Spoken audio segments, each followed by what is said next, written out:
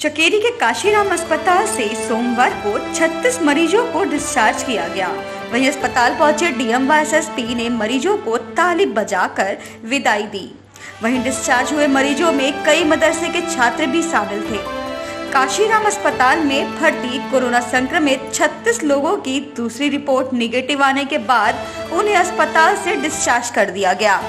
जिसके बाद मरीजों ने बताया कि अस्पताल के सभी स्टाफ का व्यवहार काफ़ी अच्छा रहा।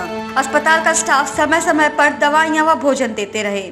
अस्पताल से डिस्चार्ज होने के बाद मरीजों में खुशी का माहौल देखने को मिला। अस्पताल से डिस्चार्ज हुए मरीजों से डीएम ने नियमों का पालन करने का अनुरोध भी किया। वहीं डीएम ने लोगों से सोशल डिस्टेंसिंग का पालन करने का आग्रह भी किया। अस्पताल से डिस्चार्ज हुए मरीजों को स्वास्थ्य विभाग ने बस में बैठाकर रवाना किया।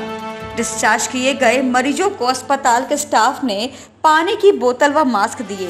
डीएम ने अस्पताल से डिस्चार्ज किए गए लोगों से अस्पताल में मिलने वाली दवाइयाँ व खाने के प्रबंध पूछे, जिस पर मरीजों ने अस्पताल में बेहतर दवाइयाँ व खाना दिए जाने की बात कही। कानपुर से संवाददाता हिमांशु श्रीवास्तव की रिपोर्ट।